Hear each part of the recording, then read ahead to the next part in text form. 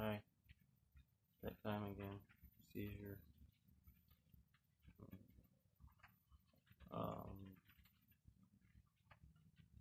it's just starting now, so pretty early in the process.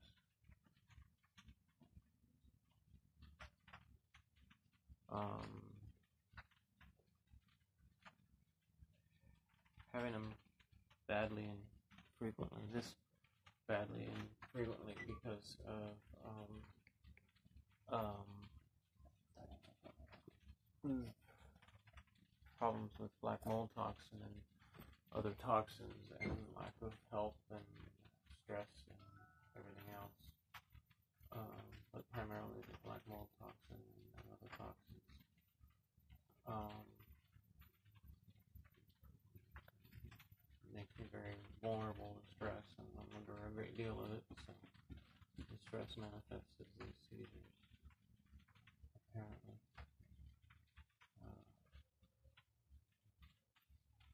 and, uh.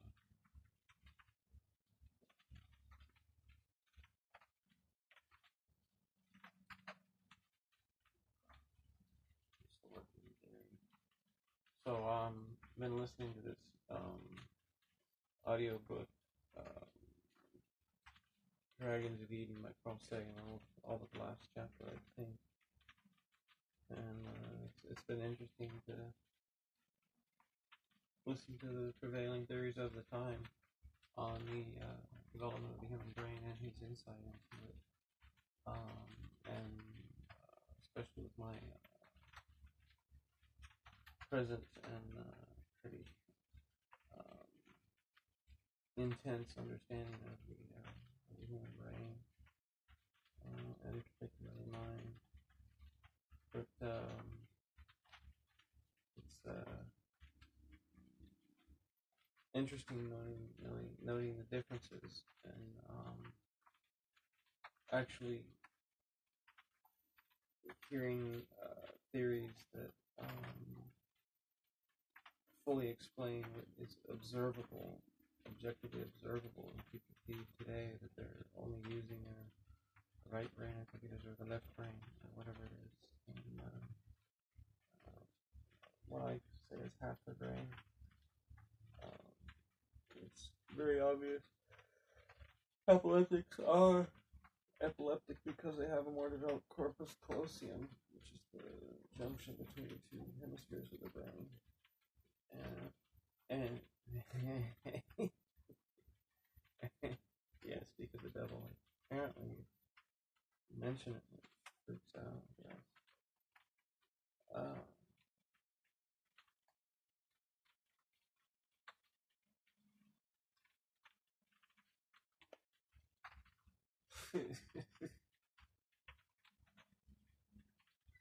and apparently, when it doesn't work right, it doesn't work right.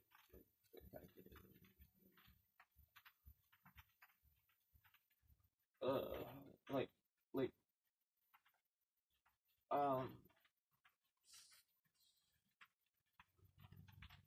this is kind of a, a focal seizure. It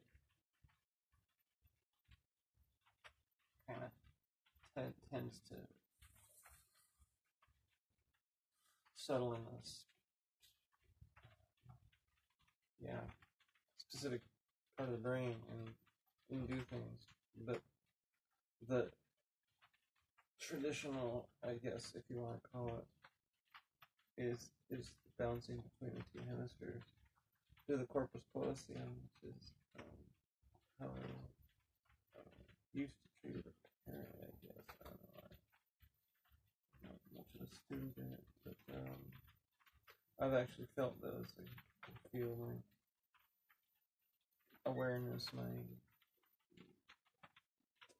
awareness, I guess, bouncing back and forth, kind of just flowing back and forth between the hemispheres, or whatever. Um, we call the- yeah. But um, it uh, it um,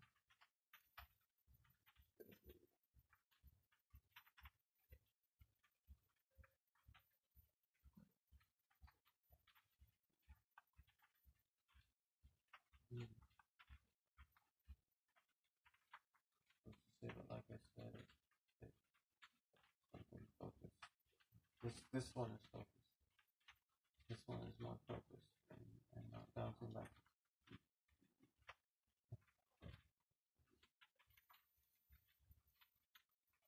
Back and forth.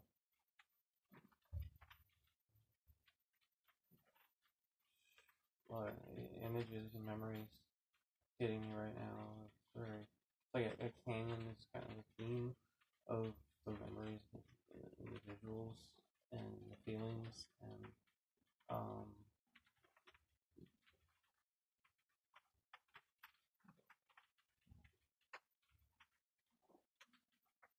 kind of feel kind of a little claustrophobic maybe.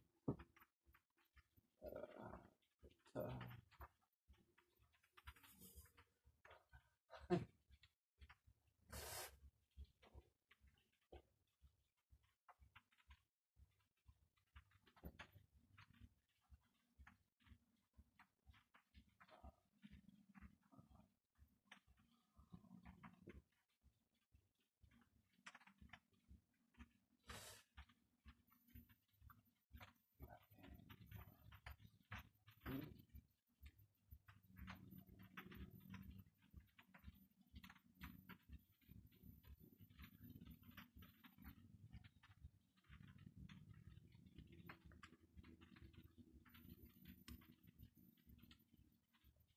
uh,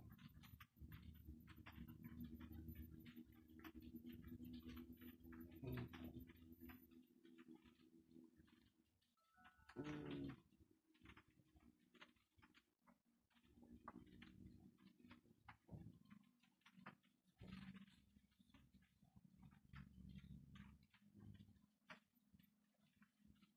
Yeah. What the fuck? Uh, uh.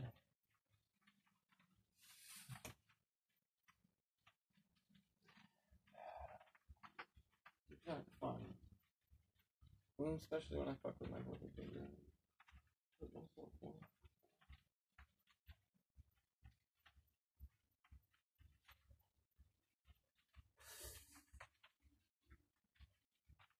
Yeah, and that doesn't help the focal nature of the of this kind of seizure. Especially when I double stimulate.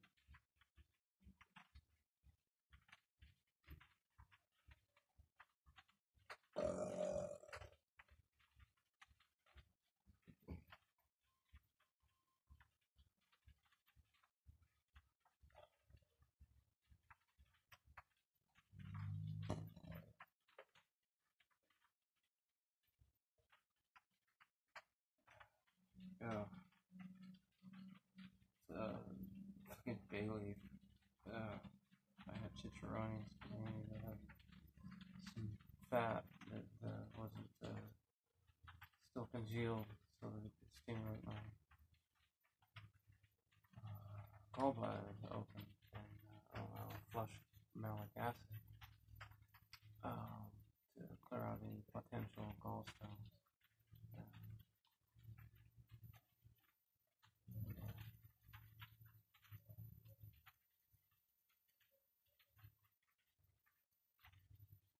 Oh yeah, they're cooked in manteca with like a bay leaf in it, you know, like 20 gallons of manteca and and 10, 10, 15 gallons of manteca, probably sounds lard, pork fat, and um, um, one, maybe one bay leaf, uh, one maybe more bay leaf, and if I can fucking taste it.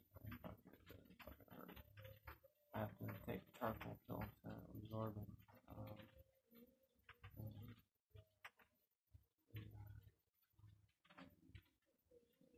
in the meantime, produces some pretty painful gas, and then I get the smell and taste the leaf again.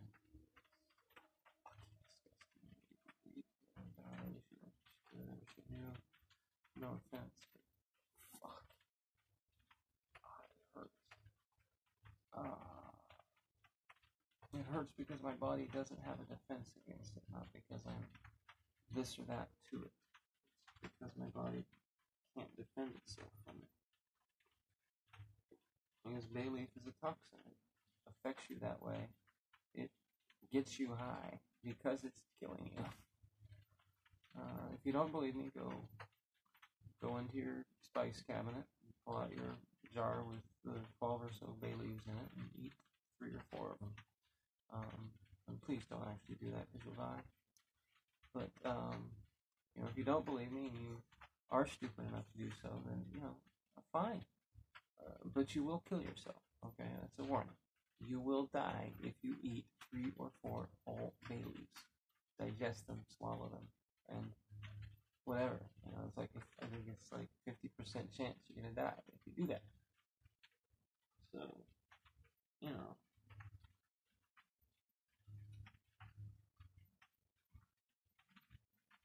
Um,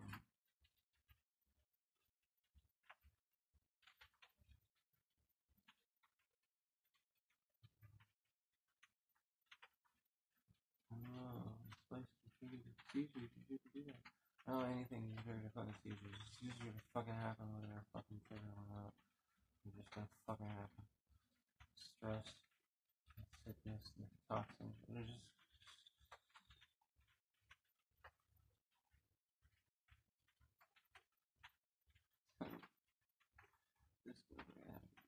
Oh, fuck. Oh, this one goes up and down leg.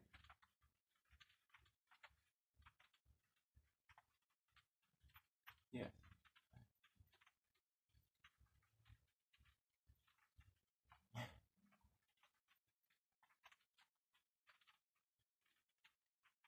I think I was tortured in my first kindergarten class by ah Mrs. Caldwell. It was Mrs. Caldwell, and then Mrs. Carter, and then Mrs. Rasmussen, Mrs. Misterka, Mrs. Omaha, Mrs. Conway, Mr. Coach. Sense a theme there? Hmm. Yeah. Uh, and I was always off my own corner of the classroom until Mrs. Peralta, excuse me, in uh, fourth grade, Mrs. Conway in fifth, Mr. Coates in sixth. Um, why? I don't know. Because I think my first Mr. Mrs. Caldwell, I think my first kindergarten teacher for the, the fucking two months I had her, I guess, I don't know. Um, may have tortured me to remember to use this hand to do the Pledge of Allegiance. Um, because I have a disposition, binary disposition problem, where if uh, um, I hold uh,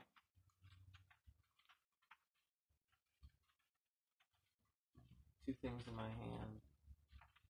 Um, um, and I need one, I will grab the other. I, I, I don't know how to demonstrate it, but um,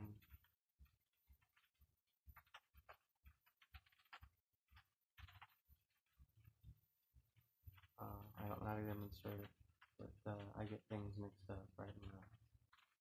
Um, I just happen to know because I've been concentrating using my right hand and it has a knife in it because I can see it and it's my left and it has matches in it. Um, but maybe if I uh, do this, then um, no, I, I, I, I can't demonstrate. I just um, um, but anyway, I, I, I get the shit mixed up, and uh, I think that uh, my kindergarten teacher might have tortured me because I always remember the Pledge of Allegiance in kindergarten. When I remember which one's my right hand. You tell me.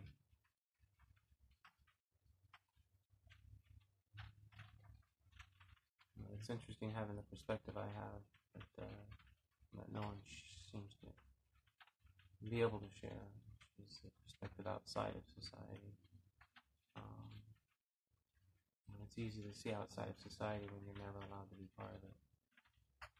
Um, I don't know why I was bullied by my own family before I began school. I was bullied by all the other students. But I, can imagine that I was bullied by the other students for the same reason I was bullied by my family, or because I was bullied by my family.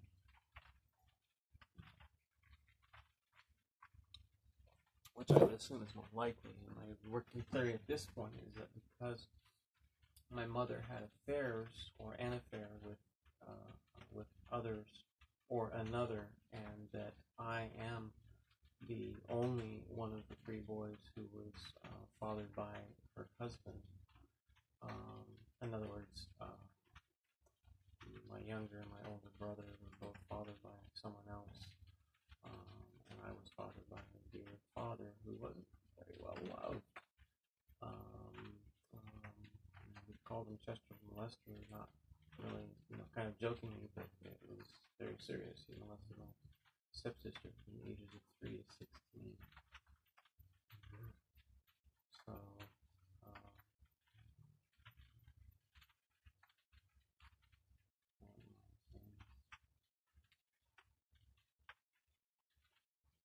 oh man, never about why I have an outside perspective. But uh, yeah, I was. So I think the working theory is that because I was your old father's son, and not the woman, not the son of the man she loved, um, who she had an affair with, or anybody else because she hated him so much. I don't. I kind of do know because she said she left us three boys with him at the ages of two and three, four, five, and six or seven, um, with him because she was afraid he was going to kill her. Think about it.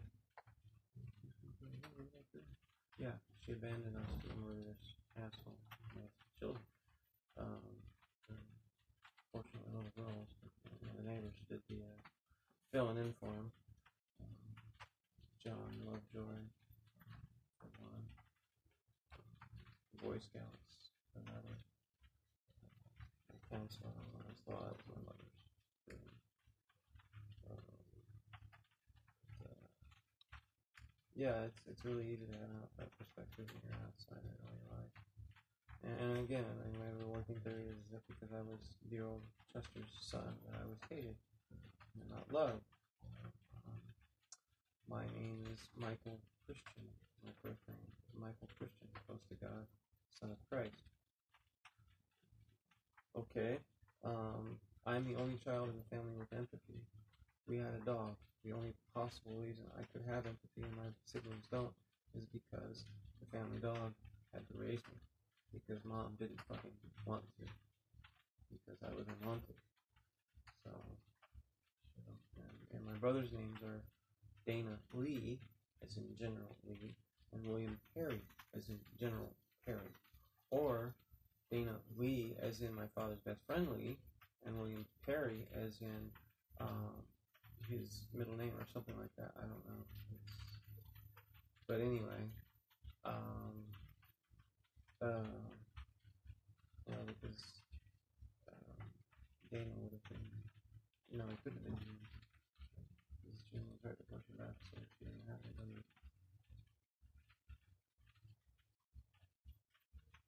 Ooh, makes me wonder if Genevieve is uh, my mother's latest child with her new husband she after she left my father. Makes me wonder if she's actually, you know,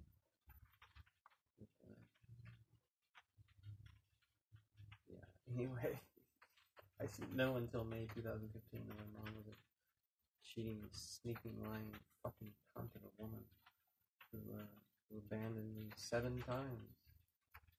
Seven fucking times.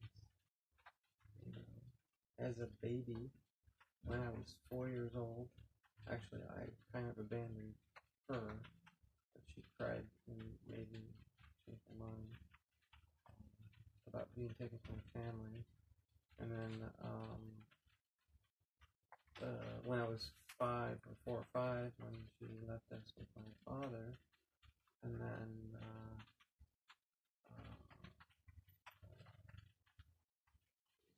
not remember it all, but anyway, uh, she put me fucking orphanage in Oklahoma after I moved in with her, and my brother moved in six months afterwards, and started shit. Was caught selling fucking pot at school or having pot on or something like that, and uh, um, um, so we both got put in this orphanage, and then he got taken out like two weeks later, and I stayed there for two months, I think.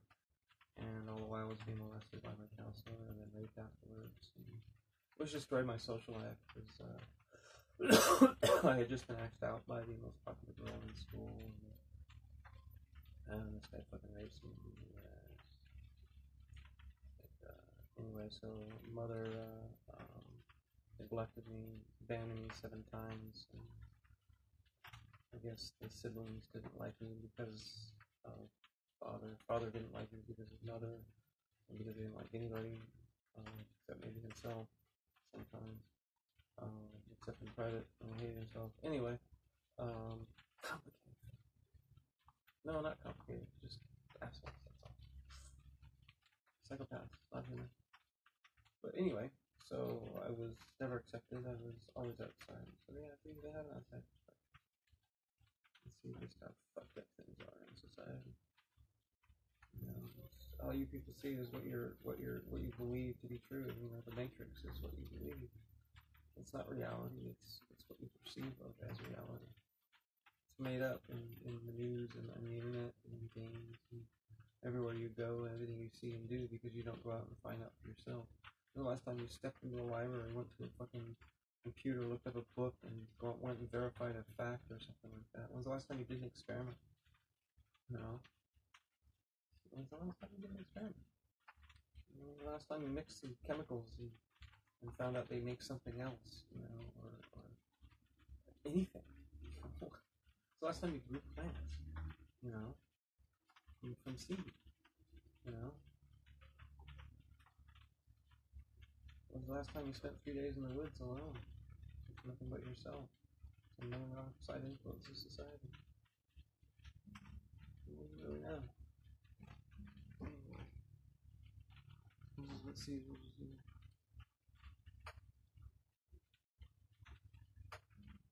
It's like being drunk and having a hangover at the same time.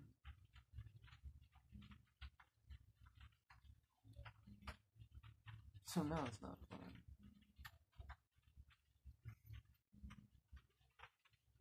Oh man, being drunk? It's fun. Having a hangover, that's not fun. Holy shit, being drunk and having a hangover at the same time? Oh my god. But wouldn't that negate the hangover? Yeah, well, that's the whole fucking point. It's not actually a hangover. I'm not actually drunk. That's what it feels like. Shut up. I have a hangover I'm.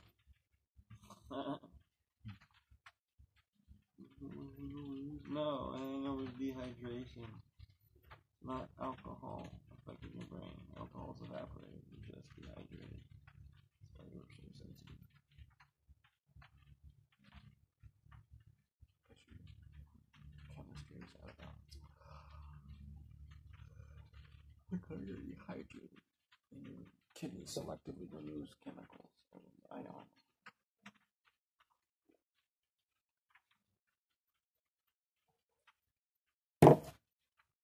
So drink some fucking clean water and rebalance your fucking um, ions, minerals, and oh wait, I can't because it's not because of minerals are like it's, it's easy. Is actually physically damaged. I have uh, the limited capa- capability uh, I don't know what degree and, and whether it varies. Well, I'm sure it does, but uh, limited ability to control my salt levels. Uh, that's kidney function. Uh, my hydration and my body temperature. Uh, also have very little uh, perception of uh, any of those sometimes.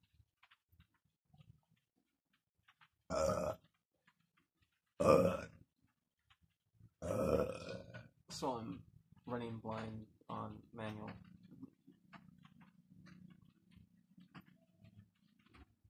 Fine. fine.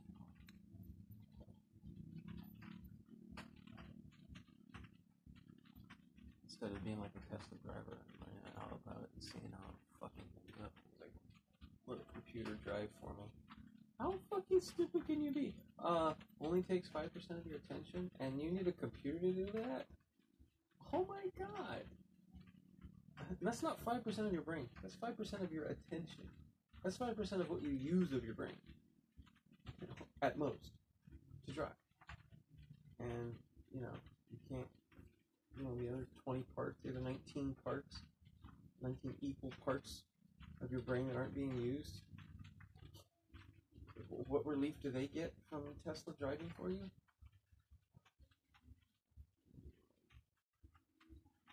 world's richest man is probably the world's stupidest.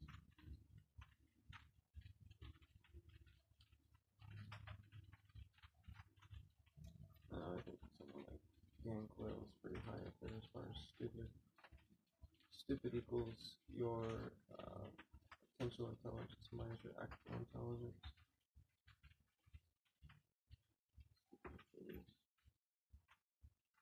Anyway, I'm just in pain now. This isn't this easy anymore. I just got a lot of gas right in my upper abdomen.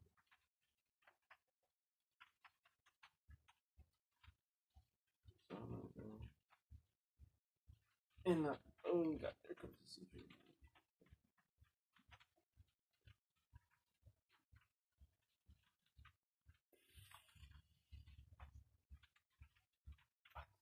Oh shit.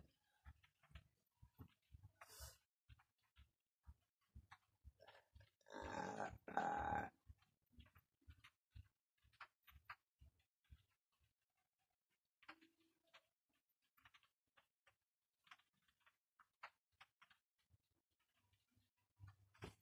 Okay. Oh. Lots of weird sensations. Prickly, prickly, uh, like, like I can feel colors poking my skin. I, you know, I know it doesn't make sense, but that's what I do.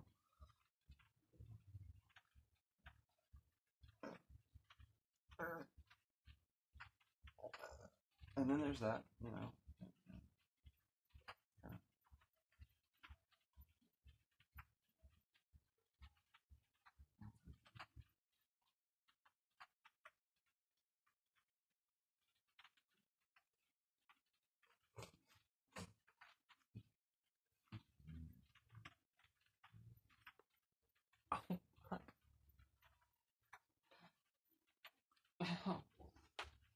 yeah, you fucking heard that. Ow. Can't explain.